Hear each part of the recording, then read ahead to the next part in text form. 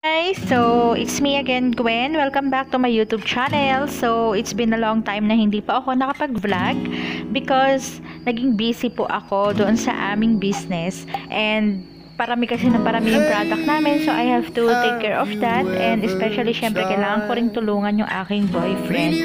So anyway, despite of those things, naisipan ko pa rin magpaayos. Syempre wag natin kakalimutan yung ating sarili na magpaayos pa rin at uh, ipamper natin yung sarili natin, di ba?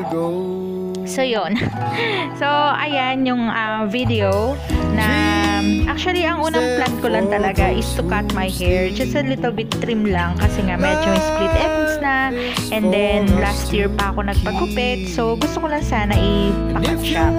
But then again, tsaka yung ipa-treatment. But then again, syempre, salon is salon.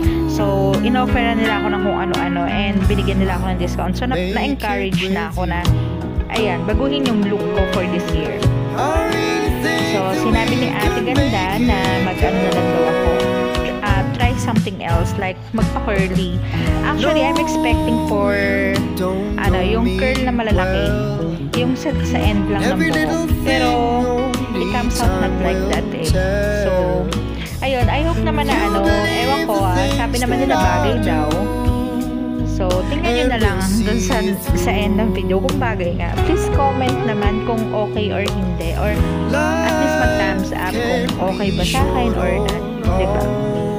So, yun. So, yun nga. Um, plan ko lang talaga is to cut my hair. Yun lang. Trim lang. And then just put, put some bangs para lang mabago yung, yung look na.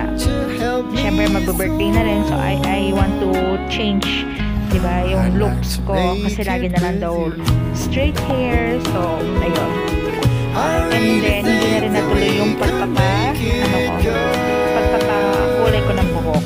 So, ayan na siya. Ito na yung naka-curl na yung hair ko. And talagang ano, naglobat talaga ako guys. Naglobat yung phone ko.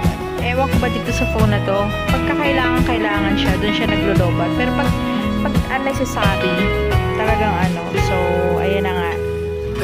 So, yun lang guys.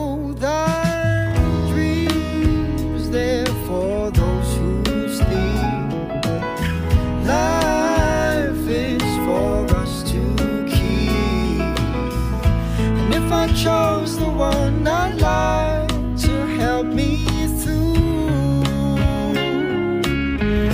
I'd like to make it with you.